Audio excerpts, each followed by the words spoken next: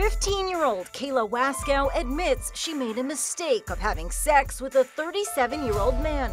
I think I should have just saw all the signs and should have just stayed home. Calah's face was seen across the country after an Amber Alert was sent out when her mother reported her kidnapped from their Georgia home last year.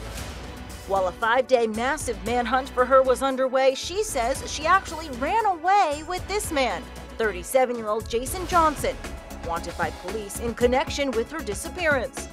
Calah was found safe 200 miles away in Tennessee. I made the mistake of putting my life into a man who is a 37 year old adult, old enough to be my father, putting everything in his hands. In an exclusive interview with Dr. Phil, Calah reveals she skipped school to be with him. Where had you been going instead of to school? To his house. To his house.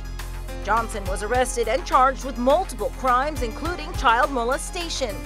Calah says the relationship was consensual, but now wants to share her story to raise awareness. And you wanted to be here and talk about this because you want to use this to help others, right? Yes. I want people who are in or think that they can be in an older relationship with somebody and get away with it. It's illegal and wrong. It's illegal for a reason. For InsideEdition.com, I'm Lee Sheps.